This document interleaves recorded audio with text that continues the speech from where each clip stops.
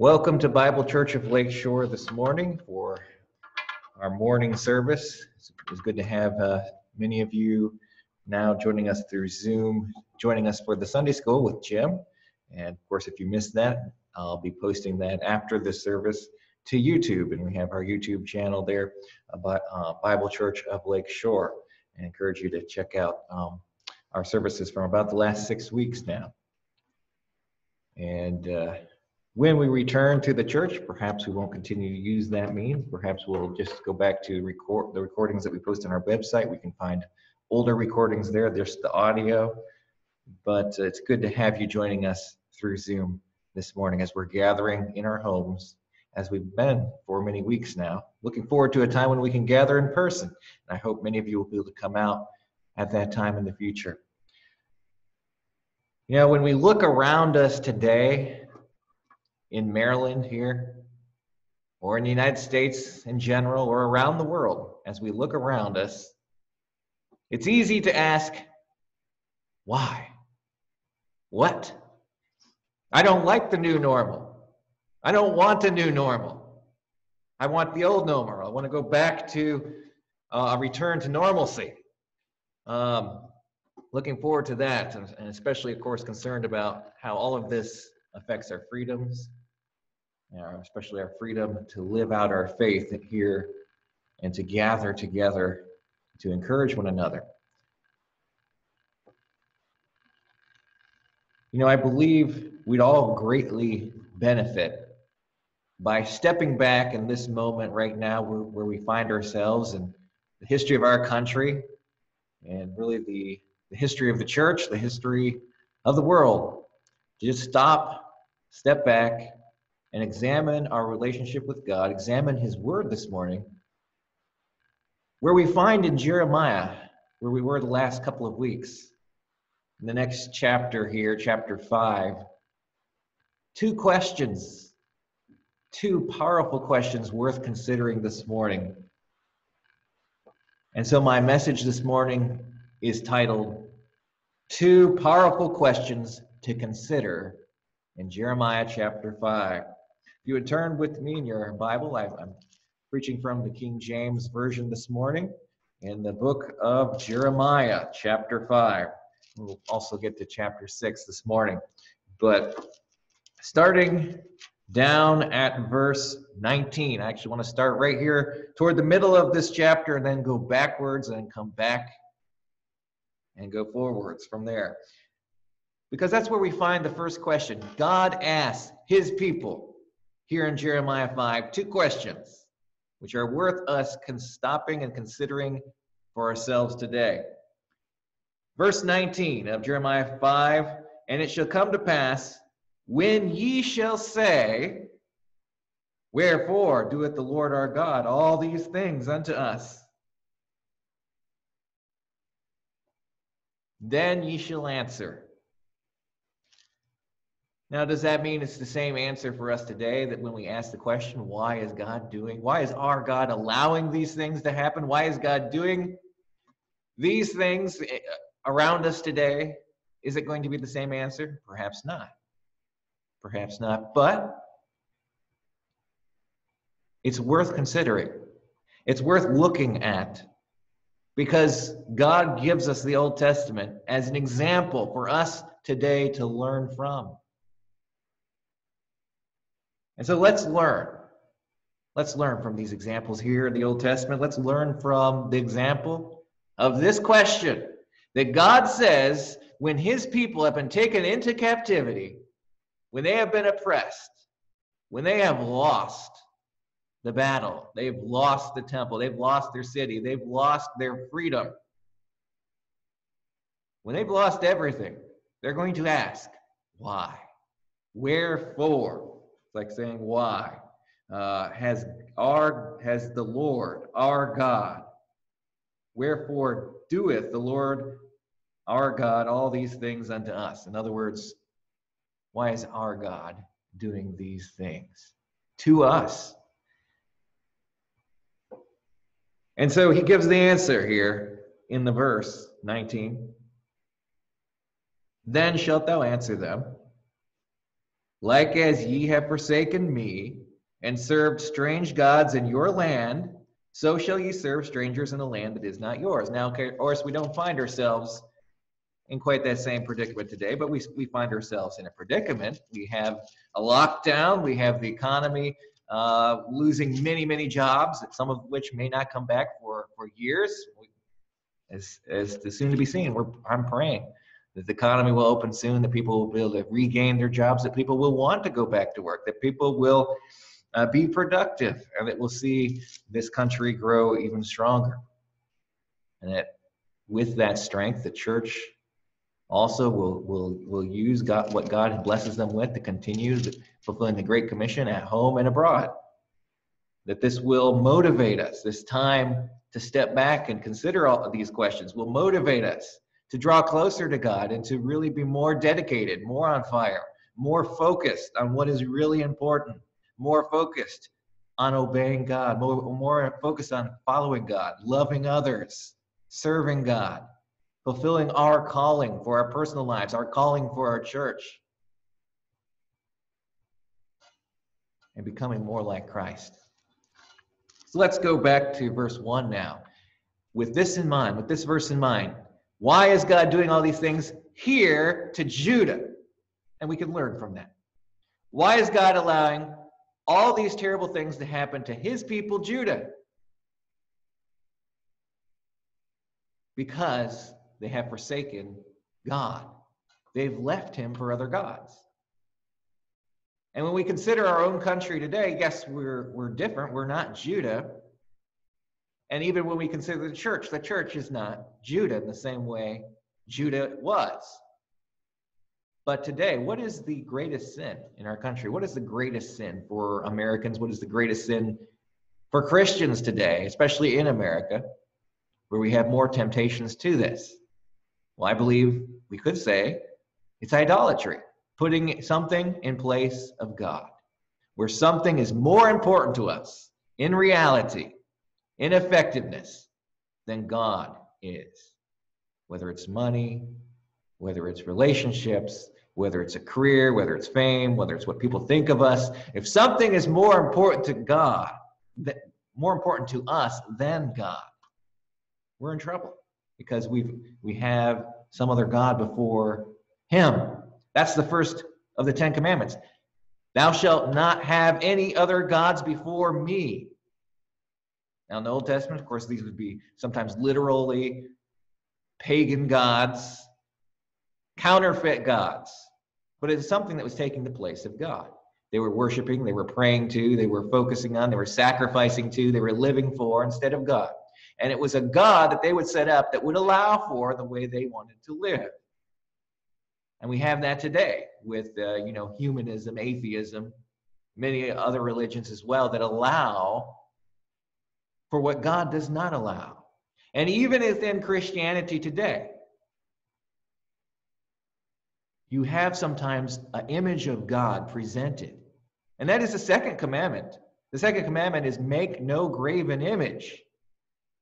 And sometimes we have an image to God, not just a picture like you have behind me that is worshiped, but an image of God, an imagination of God. So, an image of God in our minds that, well, He's a loving God, He's an understanding God, He's a merciful God. He's slow to anger. And we and we take only the things about God we like, like coming to a buffet and only picking the foods you want and saying, okay, my God is this. I'm going to reject those other things that the Bible talks about about God, or, or just say, well, that was the Old Testament. But no, the same God who's God in the Old Testament is the same God who's God in the New Testament. He's the same. He's just as much a loving God, a merciful God, a forgiving God, as in the Old Testament as he is in the New Testament. In the New Testament, he's just as much as a just and holy God to be feared, to be reverenced, to be worshiped first of all in our lives as he is in the Old Testament.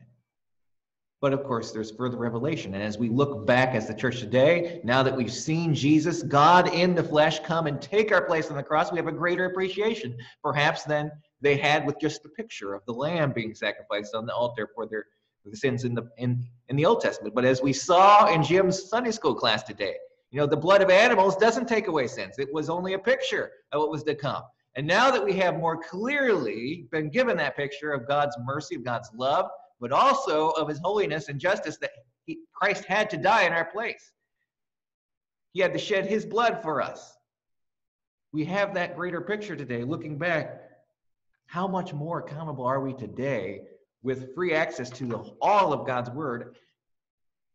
As Judah was accountable then, as God's chosen people with prophets physically speaking to them, but they didn't have the New Testament yet. All they had were the law of Moses, the prophets, some of the history that they had recorded in the books of 1st and 2nd Samuel at this time, and Jeremiah physically bringing God's message to them.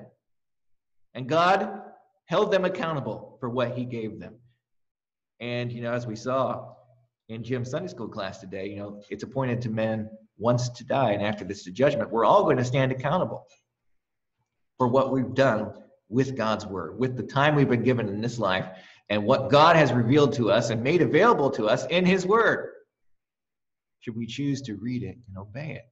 It's there for us. So let's look at verse 1 now, in chapter 5 of Jeremiah, backing up.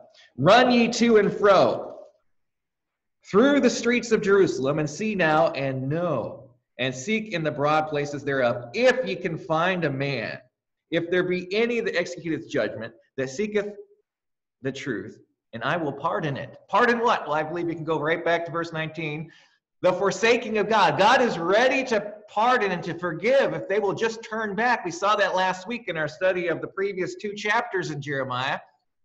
In my message last week, which was turn to God, God was calling on Judah, and He's calling on us today to turn to Him. And Judah had that opportunity, and they neglected it. Josiah, King Josiah, did turn to God for a time but then his sons after him would forsake God once again. But God says he's ready to pardon their sin. Specifically, as we saw in verse 19, they're forsaking him. And yet he's willing to pardon if he can find men in Jerusalem who execute judgment. They're just. And seek truth. So they're honest men following after God. And that's apparently not what we find in Jerusalem at this time. The, the men were not honest. They were not sincere. They were not following God's truth. But rather, what is convenient for them? What works out for them? What's in it for them? And if that's worth following a, a, a God of their own image, some other God, well, they were willing to follow that instead of putting God first and really being someone who is seeking truth and executing judgment. So look at next verse then. Verse 2. And though they say the Lord liveth, surely they swear falsely. They're dishonest. They're not sincere. Even taking vows in God's name, the name of Jehovah, here in verse 2 some serious vows and they're failing to live up to those vows. Whether they're doing it to be seen of men, like the, you see in the New Testament with the Pharisees, or whether they had an intention of fulfilling the vow and then neglected it, or whether they had no intention at all of keeping this vow. They're just going through the motions. They're not sincere. Maybe they believe God, they believe in Him, they know of Him but their relationship with Him and keeping their commitments to God is not there. It's they're swearing falsely. Look at the following verse. Verse 3, O Lord. That's God's personal name. It's all capitals. Uh, o Lord. So, O Jehovah. Are not thine eyes upon the truth? Thou hast stricken them, but thou but they have not grieved. Thou hast consumed them, but they have refused to receive correction. They have made their faces harder than a rock. They have refused to return. Therefore, so they've forsaken God and they're refusing to turn back to God. We saw last week in the previous two chapters, Judah was called to turn back to God, but they have, to this point, refused to turn back to God. And that leaves God to do all these things that they're going to ask about later when they're in the Babylonian captivity. And they're going to ask, why is our God doing these things to us? Well, there's an answer. They've forsaken him. And they refuse to hear the, the, the warnings, the correction. And are we at a point in our country where we're seeing warnings today, correction today that we need in our personal lives and our personal relationship with God and in the morals of our country, the morals of each of us as individuals doing what is right in God's eyes, not our own eyes, because that is the problem here in Judah. They're worshiping other gods and they're doing what is right in their eyes. They have fallen away from God morally. They have refused to return. Verse 4 Therefore I said, Surely these are poor, they are foolish, for they know not the way of the Lord, nor judgment of their God. Are we today rich in God? I'm not speaking of material rich. Are we rich in our knowledge of God and His Word? And in a place where He can bless us and grow us? Or are we poor? You see, Judah here was poor. They were poor in what they knew of God. Their imagination of God was wrong. Their idea of fulfilling God's law was wrong, or they didn't even care. They thought things were going to be okay. There were other prophets that were even telling them this. Jeremiah is going to be the voice that God sends to them to wake them up. Some of them will, some of them won't. And in the end, most won't. And because they won't wake up and come back to God and they have forsaken God, God's going to bring them into captivity. He's going to bring judgment to bring them back to Him. Look at verse verse 5. I will get me unto the great men and will speak unto them, for they have known the way of the Lord and the judgment of their God. But these have altogether broken the yoke and burst the bonds. Jeremiah is looking again to and fro. God has sent him to and fro in the city of Jerusalem. Find the men who are faithful to God. Find these great men. Find the men that are seeking after the truth, that are executing judgment. You know, these men, they've known the word of God and the judgment of God. But no, the men in Jerusalem, they've broken off the yoke of God. It was a yoke to them and they want their freedom. And today we have a society that wants its freedom freedom not to do what is right, but freedom to do whatever it wants. And that's trouble today. We cannot unyoke ourselves from God. We cannot, um, you know, Jesus tells us his burden is easy. You know, when we are submitting to, to God, we find out if we're his truly his child, if we truly have a heart for God and love him, it's it's not a heavy burden and a yoke. But people who reject their a relationship with God as his child, they reject that. They reject Jesus as their savior, that they have a need for that forgiveness from him. They want to be their own master. They want to follow another way.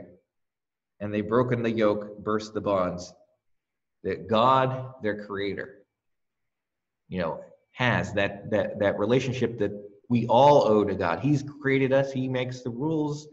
We all answer to Him. And if we don't answer to Him in this world, we will answer for that after this life. But everyone is accountable to God. Uh, verse 6 Wherefore a lion out of the forest shall slay them, and a wolf in the evening shall spoil them. A leopard shall watch over their city. So God is bringing this judgment. How can He, you know, pardon them if they're forsaking him. He must bring the judgment. Israel, as we saw last week in the previous two chapters, has the picture, and it's going to be repeated here, of that of a woman who forsakes her husband. Here in the following verses, we see it could even apply to a man who forsakes his wife and have gone after others instead. In that way, Judah has been unfaithful to God. They've had other gods that they've followed after instead of God. And today, we need to ask ourselves are we faithful to God? God will be faithful. Are we faithful to Him? If we're not, you know, judgment can come, something that gets our attention as a warning, or finally, we become unusable and God has, you know, removes our ability to serve Him in the way that He wants us to. And Israel, for a time, that's where they find themselves, unusable to God. And so God brings these things, even speaking here of the wild animals, or as, as pictures of the judgment he's going to bring on them. And eventually, yeah, their cities will be literally forsaken and, and a place for wild animals to roam because they're going to be carried into captivity.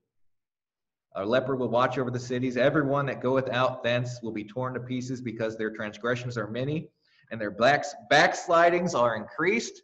You might hear that word backsliding today. I don't believe that word should ever be used of a believer. Backsliding. You know, a person who has a false conversion, who, who, who says he's a Christian, but there's no fruit whatsoever. Like the soil in the parable of the sower in Mark 4 that is hardened to the seed and, and will not sprout, and the devil comes and takes it away, the word of God. Or where the soil is hardened underneath. And at first there's a response, a response of joy, but there's no, no depth of earth. There's the rock, hard heart underneath that refuses. And when times become difficult, goes the other direction and the, the word dies there, the, the plant, the seed or the thorny ground where we just get so distracted with the cares of this life that it all chokes out God's word in our life. I believe those are three examples of, of, of, of people who are not genuinely becoming a child of God, but they're rather hearing the word of God and not doing it. Our faith should be confirmed with works. Faith without works is dead. And so Israel here is backsliding. God's going to bring them back to him as a child of God. And as a child of God today, if we do fall into sin, God's going to discipline us. He's going to correct us. He's going to bring us back to him like the prodigal son came back to him. He didn't stay with the pigs because he wasn't a pig. He was a son. And so Israel's being called back from their backslidings. Their backslidings have increased. You know, that should never be the case for a Christian. Our backsliding should be decreasing, not increasing. There should be growth in a believer's life. Always should be moving forward. If, if we stagnate, we decline. And that's what happened here with Judah in their spiritual life. They've backslid. Their backslidings have increased. Verse 7 And how shall I pardon thee for this? Thy children have forsaken me and sworn by them that are no gods. So again, the sin that God is bringing all these things upon his people is they have forsaken him. They have forsaken him and sworn by them that are no gods. And when I fed them to the full, they then committed adultery and assembled themselves by troops and in the harlot houses. Again, the picture of immorality, the picture of being unfaithful to a spouse, is a picture of where Israel is in their walk with God, that they have gone after idols instead of God, like an unfaithful spouse. And, they, and it's without cause. God has not been an abusive spouse to them. God has provided everything they needed. And yet they've been full and wanted more. They've been covetous. And today, you know, in America society, how much can we relate to that in our lives? That we have everything we could possibly need, right? And yet we always want something more, something more, something more. We have to be aware of that. Covetousness, the Bible says, is idolatry. We need to be content with the things we have. We need to seek first the kingdom of God and his righteousness. Lay up for treasure. Lay up for yourselves treasures in heaven and not on this earth. And so the, they are fed horses, verse 8, fed horses in the morning. Everyone neighed after his neighbor's wife. Shall I not visit for these things, saith the Lord? And shall my uh, not my soul be avenged on a nation as this? Again, answering the question, why is God doing these things to his people here? Because they've forsaken him. Verse 10 Go ye up upon her walls and destroy, but make not a full end. Take away her battlements, for they are not the Lord's. It, Judah, it, Judah and Israel, they are punished. They're disciplined but there's not going to it's not an end. It's not over. God's going to bring them back to him. That's why he allows them to go into the captivity. That's why he brings these judgments terrible judgments upon them. He removes their battlements. He removes their ability to depend on themselves to be independent to, and, and to choose, you know, to follow another God. He's going to get their attention, show them. It's He who gave them everything they've been enjoying, and yet they wanted their own way. They went their own way. They forsook God. Verse 11 For the house of Israel and the house of Judah have dealt very treacherously against me, saith the Lord. Treacherously has the idea of uh, fraudulently, deceptively. You know, they say they're God's people and they have not lived up to that. They have not kept their vows. They have not kept God's law. They're God's people in word and name only. They've forsaken him. Verse 12 They have belied the Lord and said, It is not he, neither shall evil come upon us, neither shall we see the sword nor famine. They are deceiving themselves. They're saying that God is not going to allow bad things to happen to them because they're his people. But that's not true because they've forsaken him. Verse 13, and the prophets shall become wind, and the word is not in them. They had false prophets telling them that things were going to be okay, telling them that they were going to defeat their enemies and they were going to prosper. But it was wrong now. Thus shall it be done unto them. Wherefore, thus saith the Lord God of hosts, because ye speak this word, behold, I will make my words in thy mouth fire, and this people wood, and it shall devour them. What a picture. Fire devouring wood. God's word. Verse 15 Lo, I will bring a nation upon you from afar. O house of Israel, saith the Lord, it is a mighty nation, it is an ancient nation. The Assyrians, the, the, the, Babylon, the Babylonians, basically that Sumerian culture that grew and, of course, changed, but that same area that Abraham long ago had been called out from. Now they're going to return to that land for 70 years. Whose language thou knowest not, neither understandest what they say. Their quiver is an open sepulchre, and they are all mighty men. And they shall eat up thine harvest and thy bread, which thy sons and thy daughters should eat. They shall eat up thy flocks and thine herds. They shall eat up thy vines and thy fig trees. All these things that Israel looked to. And, and, and do we see today how quickly our economy has been eaten up? The food supply, everything is, is it's in trouble right now. Rather self-inflicted here, not by another nation, except through the China uh, allowing this virus to come to us, but also the government and the measures it's taken seems to be making things worse for us right now. Um, economically. And here, things get worse for Israel. They, they, they were thinking that everything was going to be fine, everything was well, they were prospering. But all of that can disappear so quickly, as we've seen. And hopefully, we'll not continue to see in our country. Hopefully, things will get back uh, to normalcy, what we've enjoyed in the past, but we shouldn't take that for granted. We need to turn to God. We need to examine our relationship with God, make sure He has first place in our life. That's what Israel, that's what Judah needed to do, and they would have to learn to do that by going into this captivity. They shall impoverish thy fenced cities where thou trustest with the sword. They're trusting their military might, but it would not save them. Nevertheless, in those days, saith the Lord, I will not make a full end of you. And it shall come to pass when ye shall say, Wherefore doth the Lord our God do all these things unto us? Then thou shalt answer, Like as ye have forsaken me and served strange gods in your land, so shall ye serve strangers in a land that is not yours. There they have the reason. And, and you see further reasons in the following verses here. First, they've forsaken God. We've seen that already throughout this first part of the chapter. They have forsaken God, and so God has done these things to his people. Then verse 20, declare declare this in the house of Jacob and publish in Judah, saying, Hear now this, O foolish people, without understanding, which have eyes and see not, which have ears and hear not. The second reason, besides they have forsaken God, that these things are being done to them by their God, is they have refused to fear God to hear his warnings to them. Look at the following verses. Hear now this, O, o, foolish people, without understanding, with have ears that see not, and have ears that hear not. Fear ye not me. They have, they have failed to fear God. Saith the Lord, Will ye not tremble at my presence? which have placed the sand and the bound of the sea, a perpetual decree, it cannot pass. And through the oh, waves that uh, thereof toss themselves, yet cannot prevail.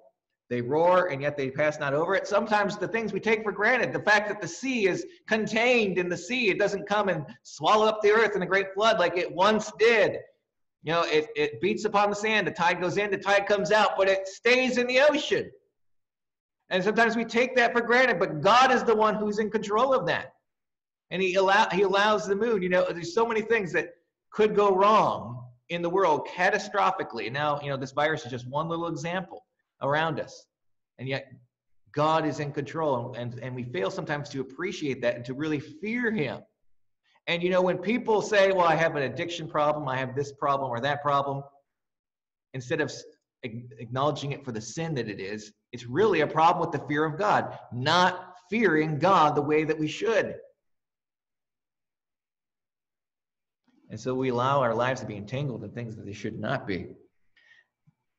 That's what God's people did here, and that's what he, God has to correct. But verse 23 But this people have a revolting, meaning morally withdrawn. They, they are pulled back from where they should be, and a rebellious heart.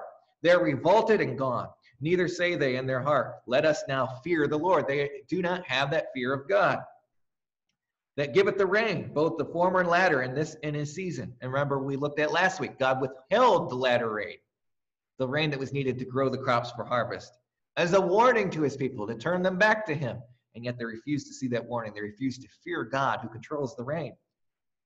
He reserved unto the appointed weeks of the harvest. Your iniquities have turned away these things. Your sins have withholden good things from you. So another reason besides they do not fear God is they their lawlessness, their sin, their iniquity.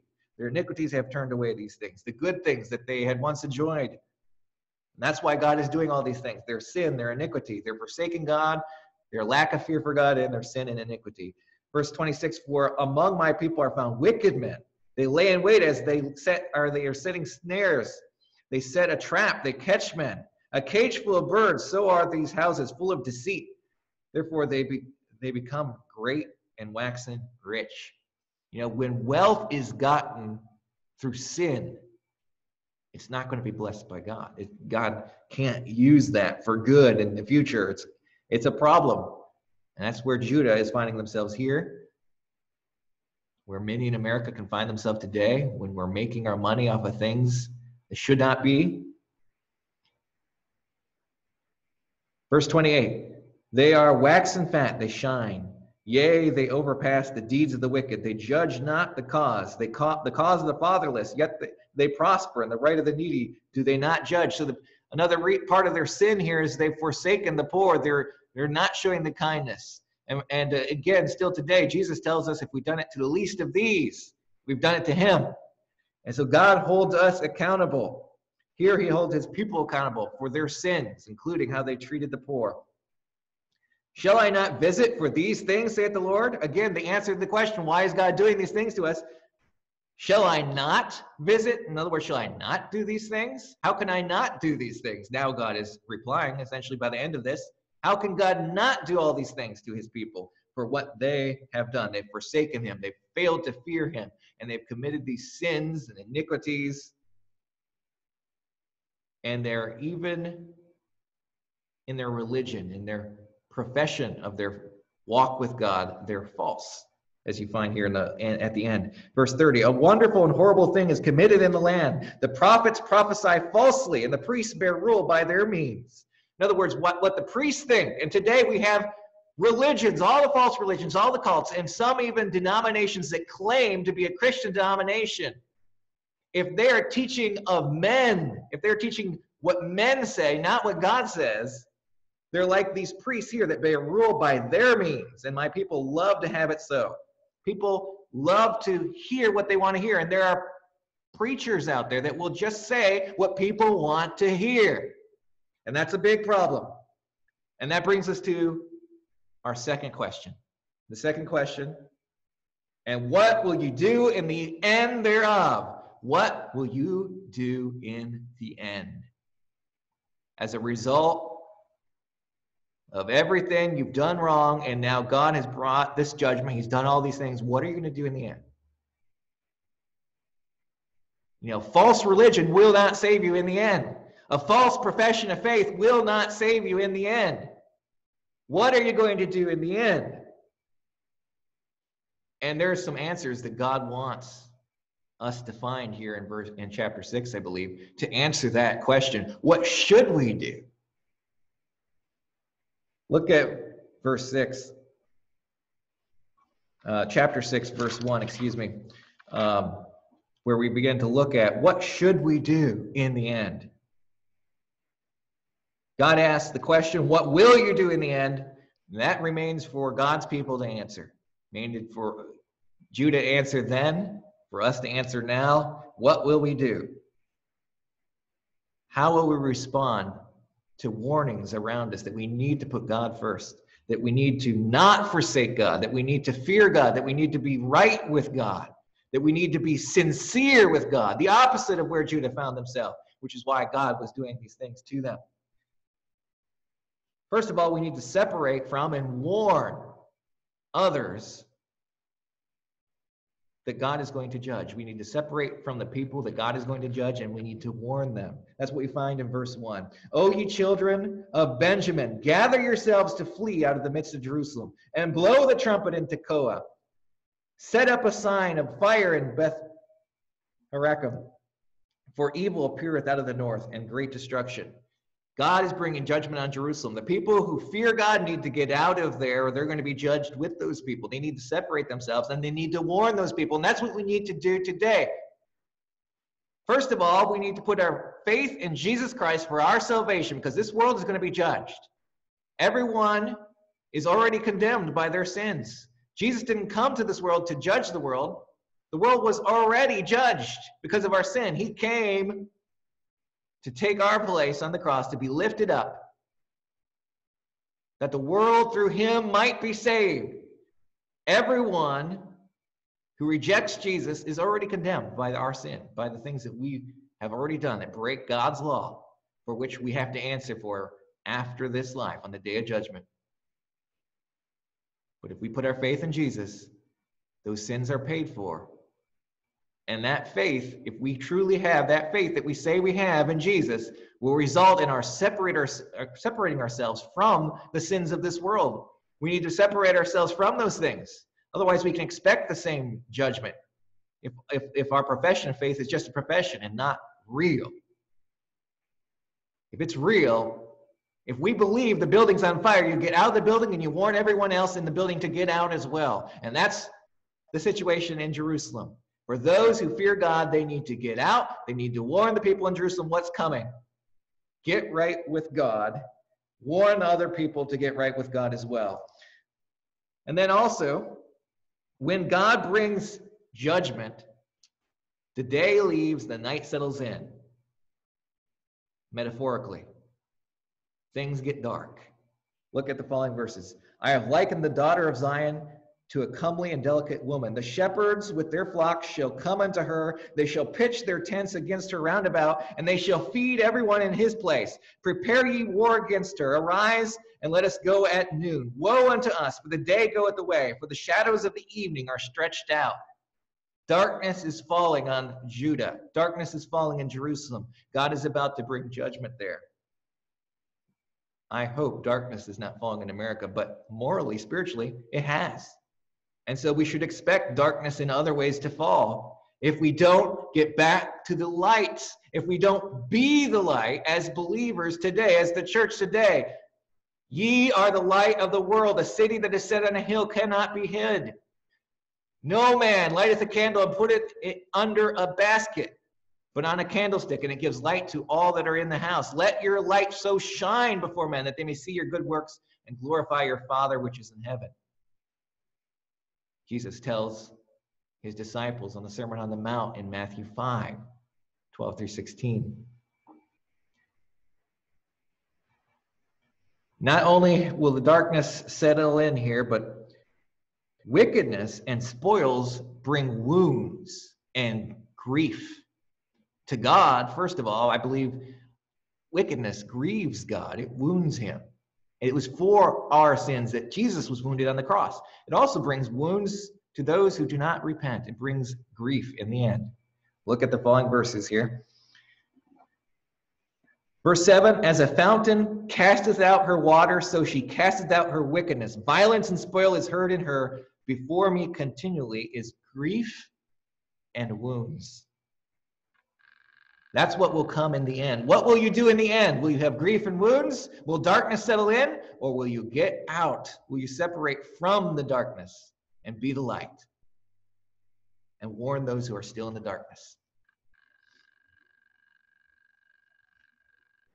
The great problems we see in, in the following verses here is that uh, God's people are covetousness and ins- are covetous and insincere. They want things that don't belong to them so much and it upsets their inner peace. That's what their life becomes focused on. And they're not sincere in what they say is most important. Some of us as Christians will admit God is the most important. He is should have first place. But do we live up to that? Are we sincere? Look at verse 8. Be thou instructed, O Jerusalem, let my soul depart from thee. Let lest I make thee a desolate land and not inhabited. Thus saith the Lord of hosts They shall thoroughly glean the remnant of Israel as a vine. Turn back thine hand as a grape gatherer into the baskets. To whom shall I speak and give warning that they may hear? Behold, their ear is uncircumcised, and they cannot hearken. Behold, the word of the Lord is unto them a reproach and they have no delight in it. They have not borne the fruit they are called to bear as God's people. Are we bearing the fruit for God as God's people today? Are we listening to God? Are we separating ourselves from what is corrupt and listening to God? Verse 11 Therefore, I am full of the fury of the Lord. I am weary with holding in. I will pour it out upon the children abroad and upon the assembly of young men together. For even the husband with the wife shall be taken, the aged with him that is full of days, and their houses shall be turned unto others, and their fields and their wives together. I will stretch out my hand upon the inhabitants of the land, saith the Lord.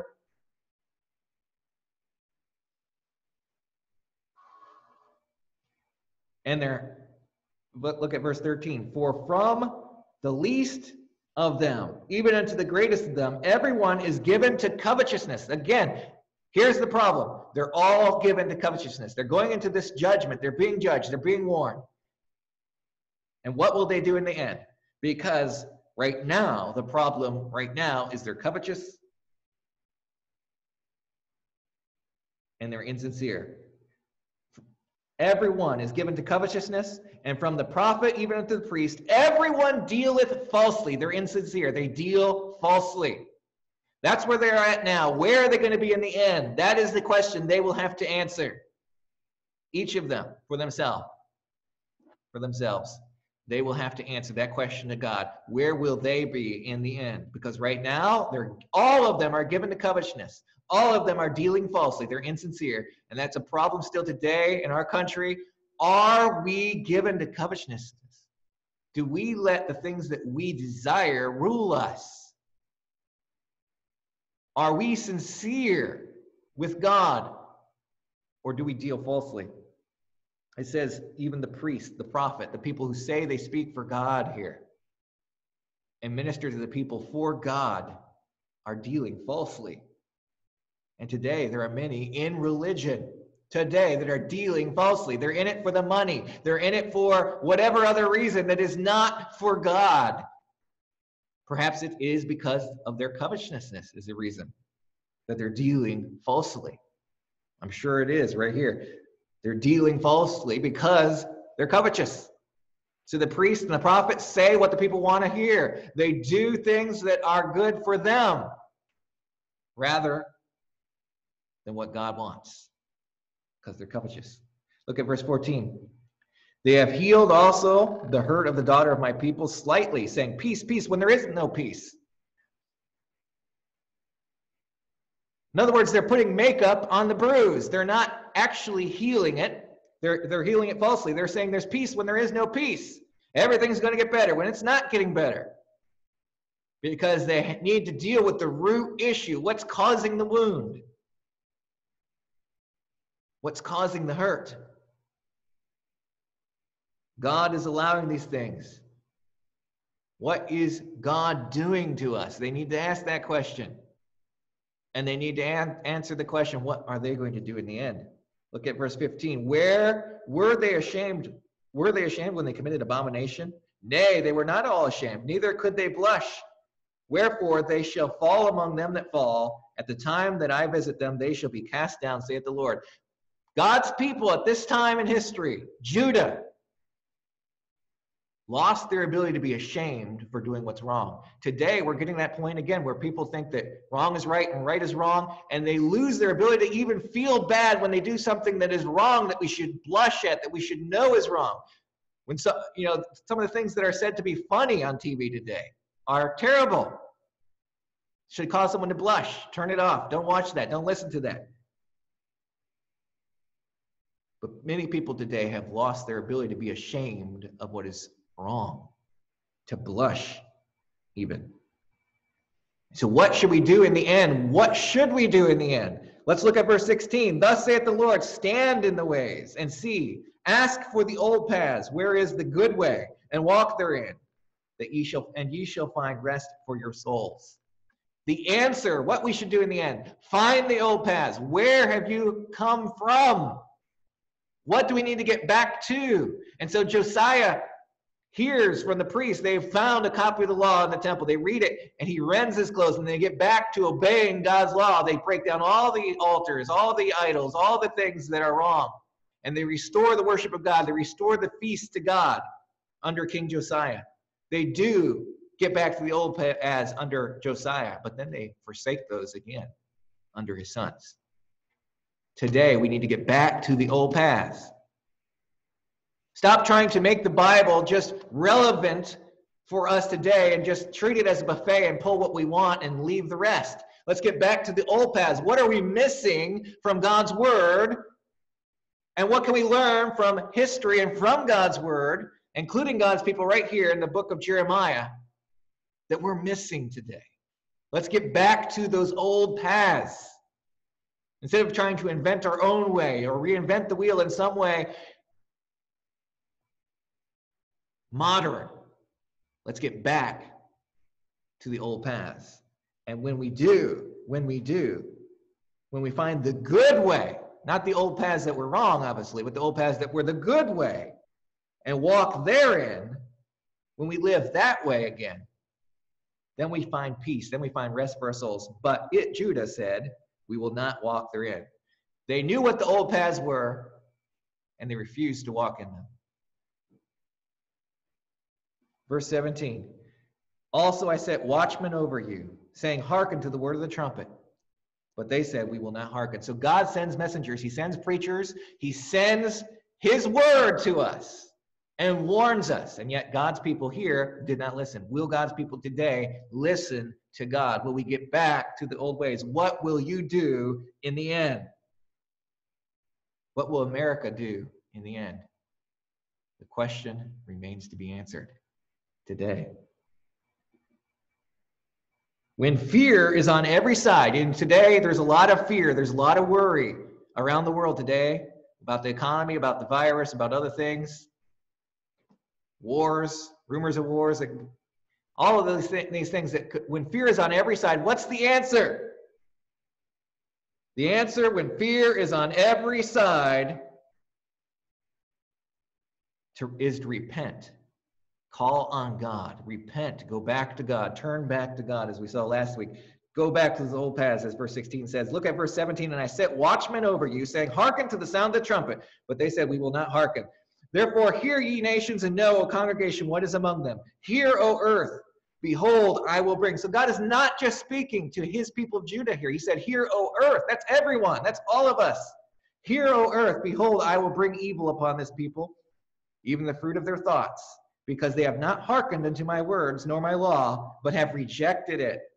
To what purpose cometh there to me incense from Sheba, and sweet cane from a far country? Your burnt offerings are not acceptable, nor your sacrifices sweet unto me. You know, the, the songs that we sing to God, the things that we do to God, even the money that we give to God today, our offerings today, it's not acceptable to God if we continue to live in sin, if we continue not to listen to what He tells us in His Word. That's what He wants. He wants obedience and not sacrifice. He wants us to wor- worship God in spirit and in truth.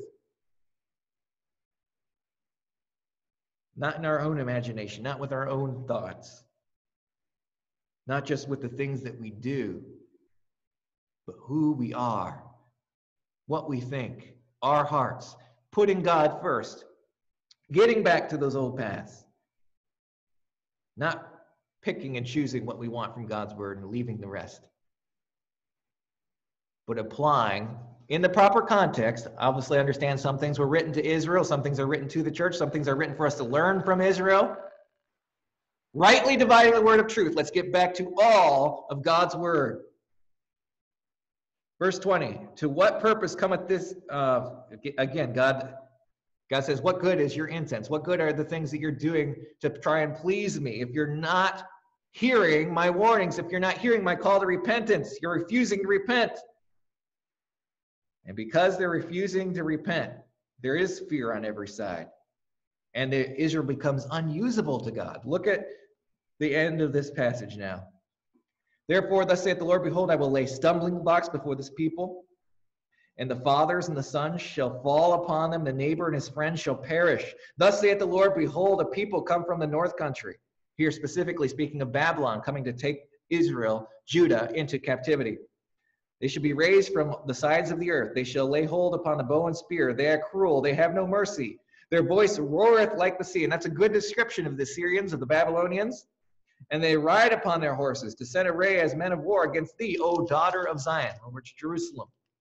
We have heard the, uh, the fame thereof. Our hands wax feeble, and anguish has taken hold of us, and pain as of a woman in travail. Go now forth into the field. Go not forth into the field, nor walk by the way, for the sword of the enemy and the fear is on every side. Fear is on every side because they've refused to repent. They've refused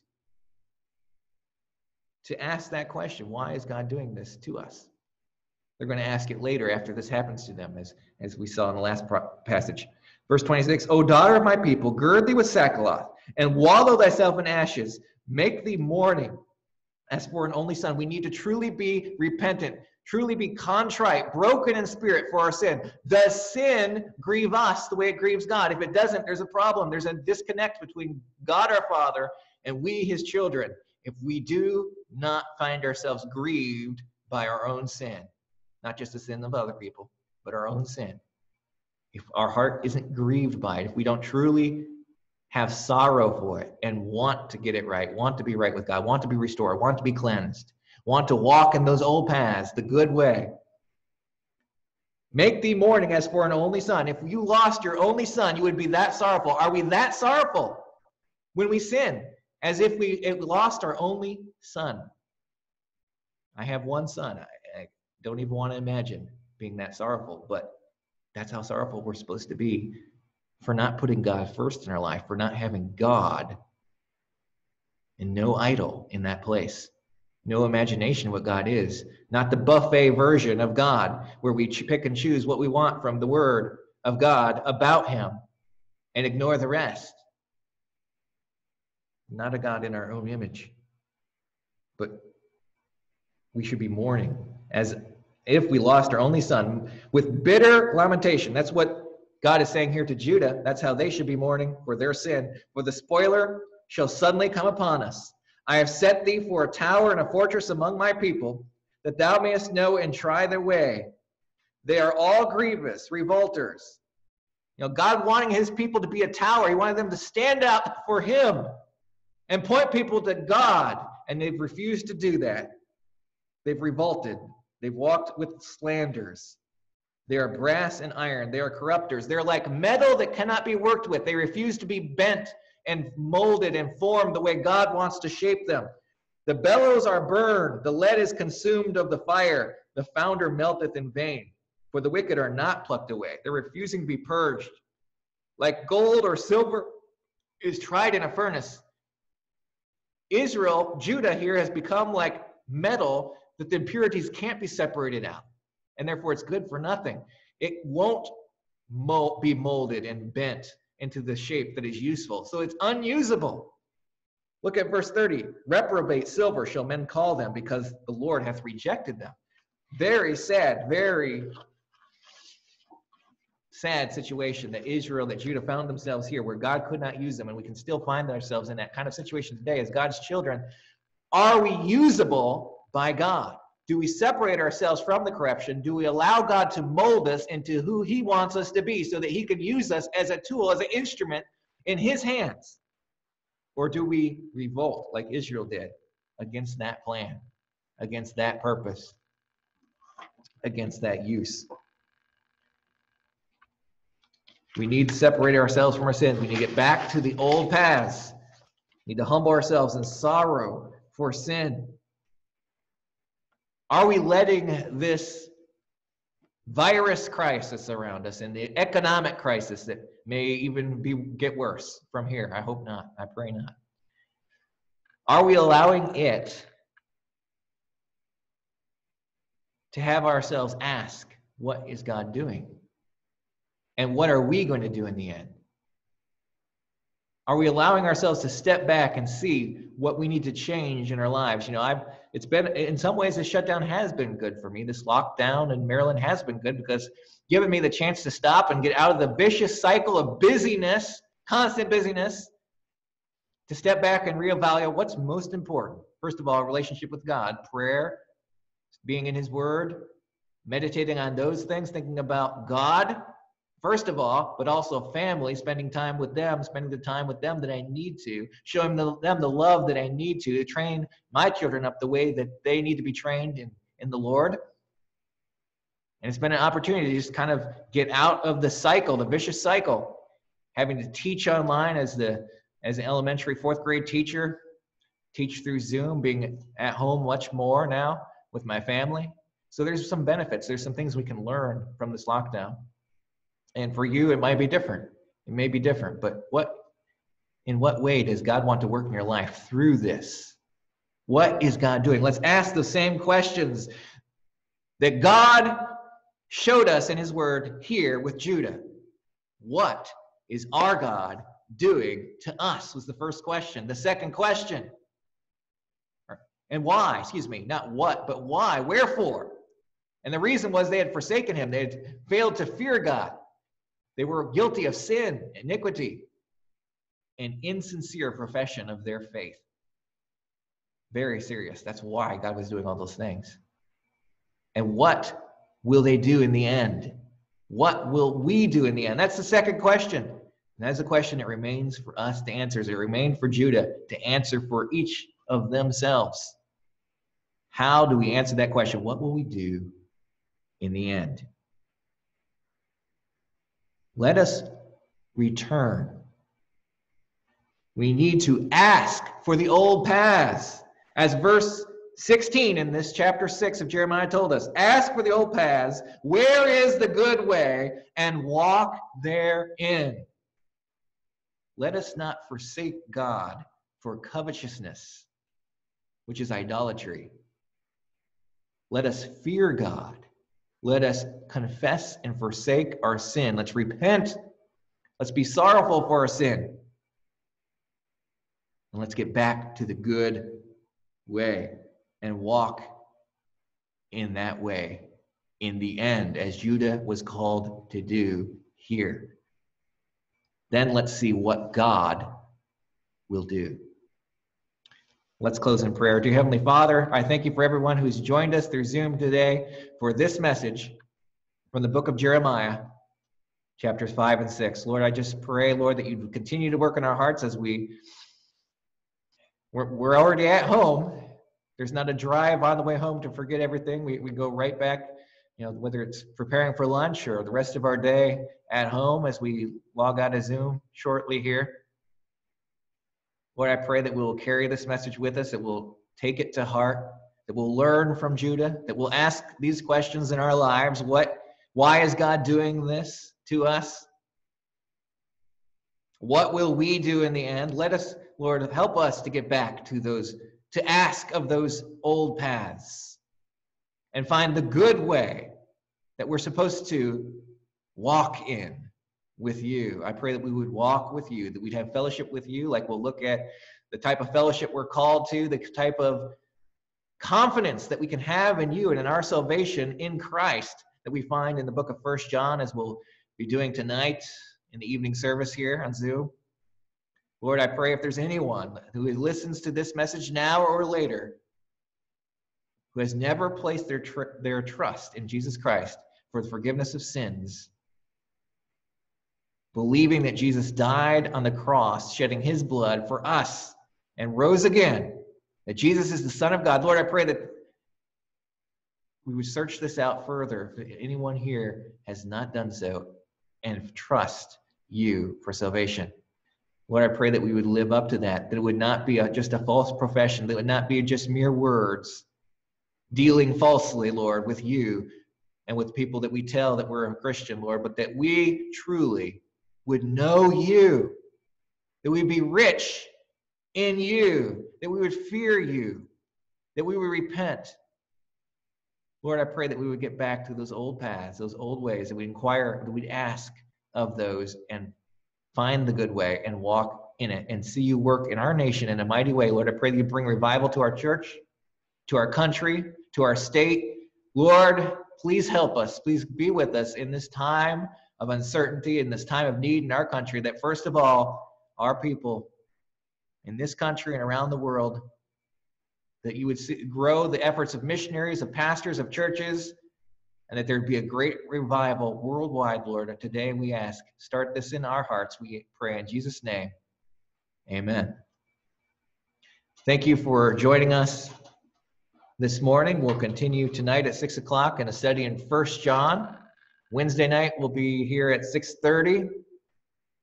And I plan to, be, again, bring a message from Ezra for before our prayer meeting, 6.30 Wednesday. Thank you for joining us today for this morning service here at the Bible Church of Lake Shore. If you have any questions, comments, of course, if you're on Zoom right now, I invite you to stay and visit or chat a little bit afterward if you like. Also, you can contact us through the website, the contact us part of our website, uh, or call our, or our church or, or myself. And uh, we'd love to hear from you and hear any way that we can pray for you. God bless.